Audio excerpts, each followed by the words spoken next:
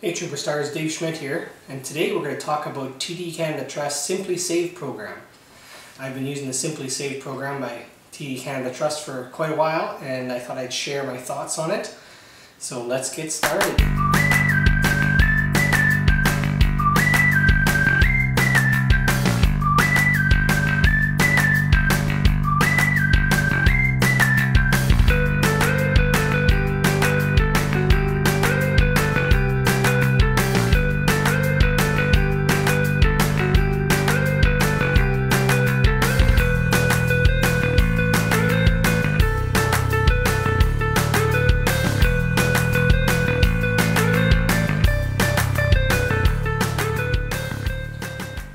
I've said it before and I will say it again. It is very important to always pay yourself first. So what I mean by that is whenever money goes into your checking account, before you even see it, money should be going elsewhere into a savings account and at least 10%, uh, preferably more than that. Um, how the TD Simply Save program works is essentially every time there's a transaction in your checking account, so a debit essentially, or if you withdraw cash at an ATM, money is going to be then transferred to your savings account.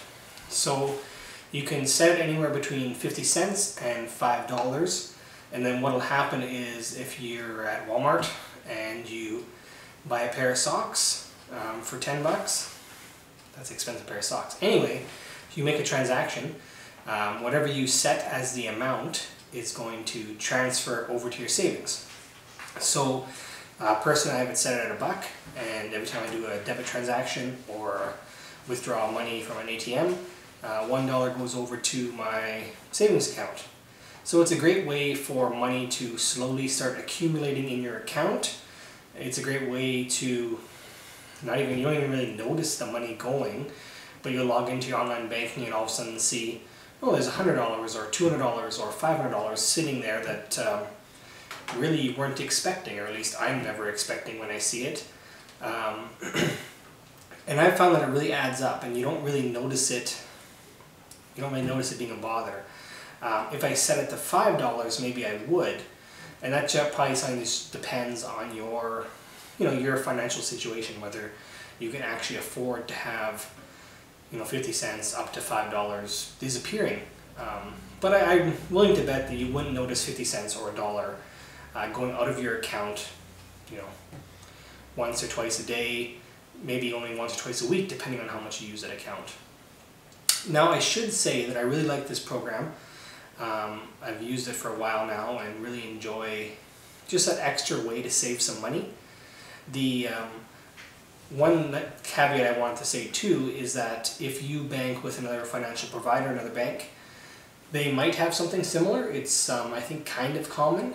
Um, I hear in the States there's uh, something called Acorn, which uh, does the same thing.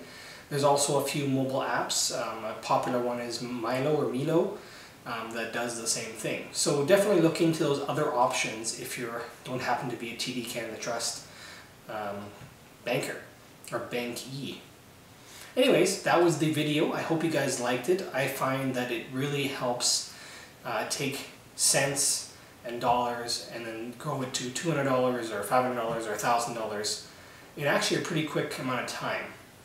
So feel free to comment, like, like and subscribe and ring that bell.